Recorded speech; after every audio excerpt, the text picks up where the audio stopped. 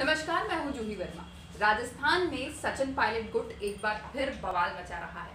अभी कुछ दिन पीछे अगर हम जाएँ और तस्वीर देखें राजस्थान की तो वो तस्वीर नज़र आएगी जब सियासी उथल पुथल सियासी घमासान मचा हुआ था। अशोक गहलोत का गुट अलग नज़र आ रहा था, सचिन पायलट का गुट अलग नज़र आ रहा था। और ये कयास लगने लगे थे कि जो मध्य प्रदेश की राजनीति में हुआ वही पूरा एपिसोड अब राजस्थान की राजनीति में रिपीट होने वाला है।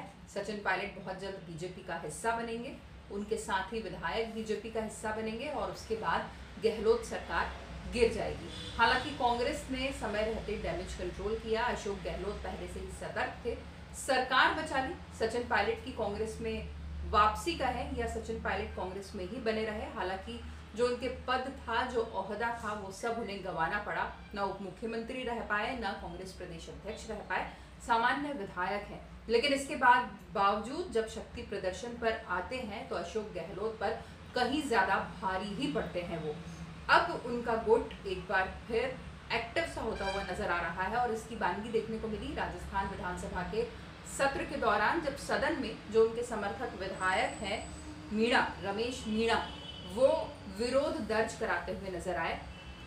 विरोध इस बात को लेकर था कि रमेश मीणा किसी भ्रष्टाचार के मुद्दे पर अपनी बात रखना चाहते थे। ज़मीन आवंटन, अस्पताल के ज़मीन आवंटन से जुड़ा हुआ भ्रष्टाचार था, लेकिन जो उनको जगह दी गई, वहाँ पर माइक ही काम नहीं कर रहा था कि मीणा अपनी बात रख सके। मीणा ने खासी नाराज़गी जताई, स्पीकर से मुखातिब हुए और अपना आपत्ति दर्ज भी कराई। स्पीकर भी समझ चुके थे कि मीणा का इशारा किस और है, लेकिन उन्होंने साफ़ किया कि संसदीय कार्य मंत्री ये सारे इंतजामों पर नज़र रखते हैं, शिकायत उनके पास दर्ज होनी चाहिए। लेकिन मीणा की इस आपत्ति दर्ज कराने का नतीजा ये हुआ कि अशोक गहलोत सरकार बैकफुट पर नज़र आई और ये सफ़ाई देते हुए नज़र आई कि किसी विधायक को कोई भी मामला रखने में, कोई भी सवाल उठाने में कोई भी मुद्दे पर बातचीत करने में कोई मनाही नहीं है, चाहे वो किसी भी ग्रुप का हो।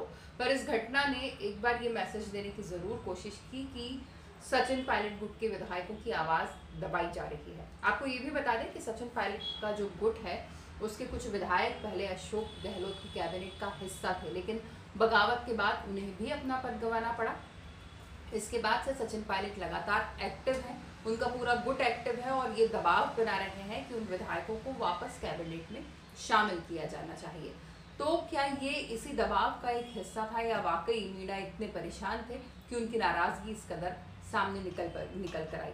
या वाकई गहलोत गुट, सचिन पायलट गुट की आवाज़ दबाने की कोशिश कर रहा है? मामला जो भी हो, पर इतना तय है कि एक बार फिर दोनों गुटों के बीच जो टकराव है वो उभर कर सामने आ गया। नमस्कार।